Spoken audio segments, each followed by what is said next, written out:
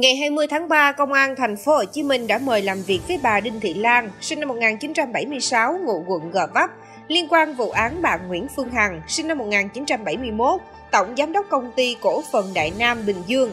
Bà Lan được xác định là bị hại trong vụ án bà Nguyễn Phương Hằng. Bà Lan cho biết không yêu cầu bà Nguyễn Phương Hằng bồi thường thiệt hại. Tuy nhiên, bà đề nghị cơ quan điều tra khởi tố các YouTuber có hành vi vu khống làm nhục bà Lan trên mạng xã hội.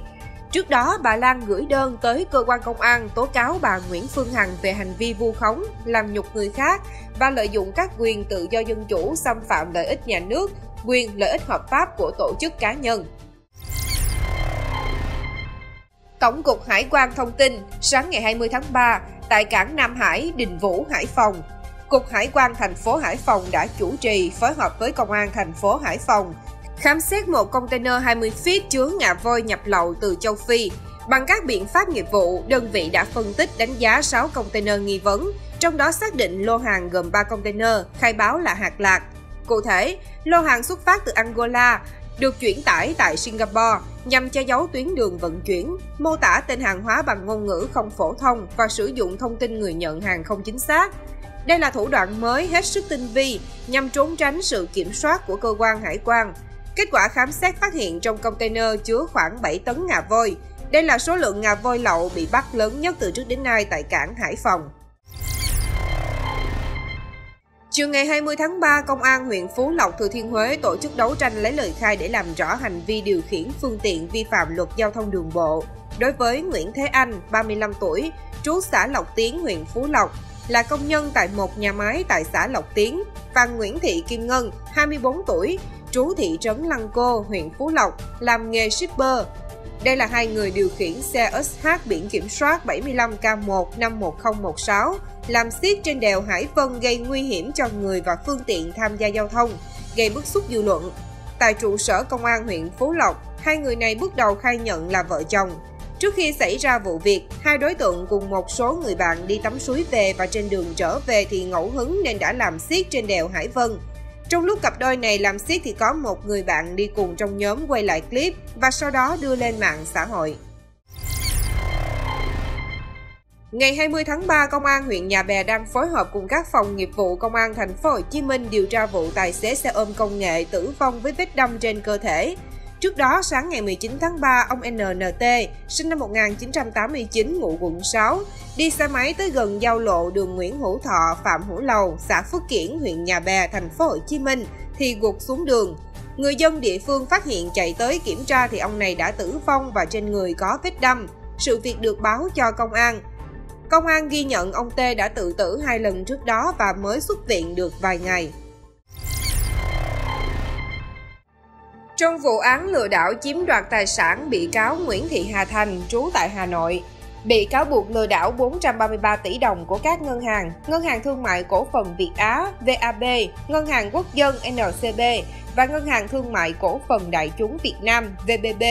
và một số cá nhân đã gửi lời xin lỗi tới các bị hại. Theo cáo trạng, bị cáo Nguyễn Thị Hà Thành nhờ nhiều người đưa mình sổ tiết kiệm hoặc đứng tên đồng sở hữu tiền tiết kiệm tại các ngân hàng trên, sau đó bị cáo giả chữ ký của khách hàng gửi tiền, thế chấp sổ tiết kiệm cho các khoản vay của mình. Nhưng chủ sổ tiết kiệm hoặc đồng sở hữu không biết hành vi của bị cáo Thành. Nhóm bị cáo khác cho hay vì tin tưởng Nguyễn Thị Hà Thành hoặc thiếu hiểu biết pháp luật nên dẫn tới hành vi phạm tội. Trong phần tranh luận, đại diện Viện Kiểm sát cũng cho rằng các ngân hàng có lỗi vì để nhân viên của mình sai phạm nên phải hoàn trả tiền gửi tiết kiệm cho các chủ sở hữu hoặc đồng sở hữu Dự kiến tòa sẽ tuyên án vào ngày 24 tháng 3. Công an Đồng Nai cho biết vừa bắt giữ 3 đối tượng liên quan đường dây chế tạo, mua bán, tàn trữ trái phép vũ khí quân dụng quy mô lớn. Các đối tượng bị tạm giữ gồm Hoàng Viết Tới, 33 tuổi, quê Thanh Hóa, Nguyễn Quang Cường, 33 tuổi và Bùi Vũ Nhật Huy, 18 tuổi, cùng quê Đồng Nai. Bước đầu cơ quan chức năng xác định Hoàng Viết Tới là đối tượng từng có tiền án, sau khi ra tù không có việc làm ổn định và có mối quan hệ với các đối tượng hình sự ma túy trên địa bàn. Đặc biệt trong đó có Nguyễn Quang Cường là đối tượng hiểu biết về súng, biết cách lắp ráp, sửa chữa, độ chế các loại súng. Nên các đối tượng đã phối hợp với nhau để chế tạo, mua bán các loại súng ra thị trường. Để thực hiện những việc này, các đối tượng mua nhiều linh kiện về nhà Cường tại phường Bình Đa, thành phố Biên Hòa để lắp ráp, chế tạo các loại súng bắn đạn trì bằng hơi nén và sửa chữa các loại súng quân dụng hoa cải khác. Đến ngày 19 tháng 3, qua khám xét nhà các đối tượng, lực lượng công an đã thu giữ 14 khẩu súng các loại, hơn 420 viên đạn cùng một số thiết bị như bán súng, hộp tiếp đạn, vỏ đạn, nhiều dụng cụ dùng để chế tạo súng, 26 viên nén nghi là ma túy tổng hợp. Theo kết luận thanh tra về chi hỗ trợ lãi vay, chương trình khuyến khích chuyển dịch cơ cấu kinh tế nông nghiệp đô thị, Ủy ban Nhân dân huyện Cần Giờ thực hiện việc tạm ứng chi hỗ trợ lãi vay và thanh toán tạm ứng không đúng quy định.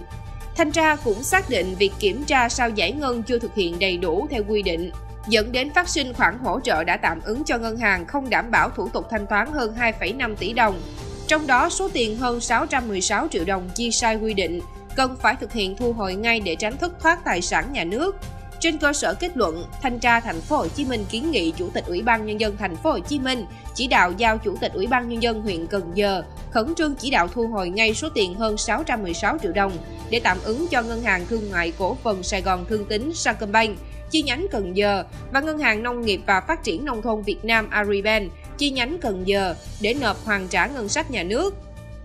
Thanh tra thành phố Hồ Chí Minh còn xác định Ủy ban nhân dân huyện Cần Giờ giao đất cho doanh nghiệp tư nhân Phú Hào Khang không đúng quy định. Cụ thể trong giai đoạn từ năm 2015 đến năm 2021, Ủy ban nhân dân huyện Cần Giờ tạm giao hơn 19.700 m2 đất cho doanh nghiệp này để phục vụ kinh doanh. Đến nay doanh nghiệp này không còn hoạt động tại địa phương, không nộp tiền thuê đất làm thất thu tiền thuê đất của nhà nước là hơn 777 triệu đồng. Ngoài ra, thanh tra thành phố Hồ Chí Minh phát hiện ban quản lý dự án đầu tư xây dựng khu vực huyện Cần Giờ có dấu hiệu vi phạm thiếu sót trong việc quản lý đầu tư xây dựng từ nguồn vốn ngân sách trong công tác quản lý tài chính kế toán. Trên cơ sở kết luận thanh tra mới đây, Văn phòng Ủy ban nhân dân thành phố Hồ Chí Minh đã có công văn truyền đạt ý kiến chỉ đạo của Phó Chủ tịch Ủy ban nhân dân thành phố Hồ Chí Minh Ngô Minh Châu và Phó Chủ tịch Ủy ban nhân dân Dương Anh Đức thống nhất cơ bản nội dung kết luận thanh tra đã nêu như trên.